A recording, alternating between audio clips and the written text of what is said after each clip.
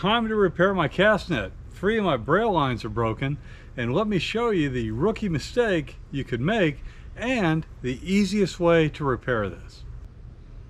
First and quickly, the rookie mistake you could make is to take the broken lines, and you can see I've got three of them here, thread them back through the horn and then just tie it to the other part of the broken end. And that is going to not work out because now the lines will be shorter than all the others because the amount of line you take up in creating your knot will destroy the length. So the first thing you have to do is make these longer. Now I like using 50 pound test because that's the uh, thickest mono I have that is easy enough to make a knot in. And what I'm going to do is I'm going to take about a four foot section of it and I'll tie it using a uni to uni knot in at the end of these. And the reason I use four feet is so I'll have plenty of room to figure out what the right length is when I get to the next step. So let me get that mono on here and then I'll show you the trick about making sure your length is exactly correct. Here are the knots, uni to uni, and what I'll do is I'll put a dab of super glue on here to make sure I hold them. The next thing is to make sure you have an equal number of braille lines going through each of these holes. And once you've done that, now the hard part is trying to figure out which line connects to which torn line down at the bottom. And there's a little bit of luck in that but obviously you've got to feed these through here and then go down to the bottom. To make it easy to find the new ends, I put a little piece of tape around and then I feed that through the horn and into the net. Now when I do the next step, it'll be easy for me to find these. Now you need to hang this so everything hangs loosely.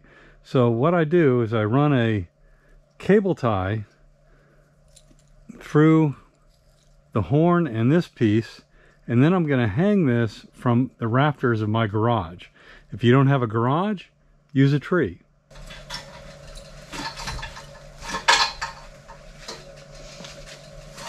Now you can see that it's hanging all the way down and the net is fully extended. The reason you want to pull down on each of the existing braille lines as you walk around is that the one that is broken may be tangled in the net and by pulling on it you can ensure that you're going to find the broken one. Like here I found my first broken one. I'll mark it with tape. It's broken off very close to the lead line and then I'll continue till I find the other two. You really have to examine the lead line carefully. Here's one that's broken off right at the bottom and I missed that on the first time around.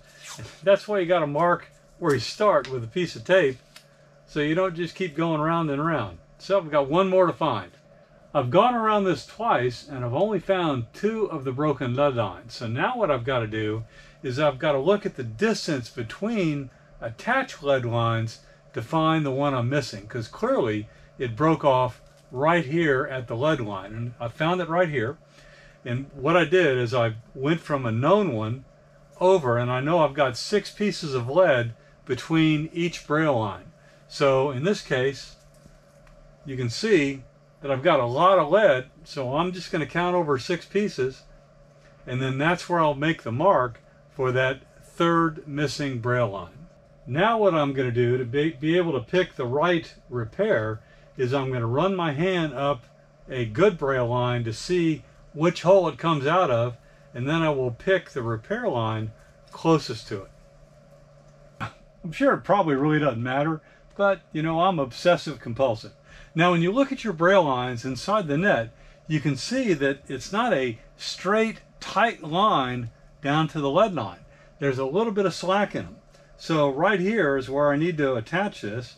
So I'm going to just eyeball a little bit of slack and then I will tie it off down here on the bottom and then that line will be repaired. Once I get done tying the knot, and I just basically used a bunch of half hitches, I'll put some super glue on there to make sure that the knot doesn't come unraveled. Then I'll do it with the last two lead lines and then this thing will be repaired.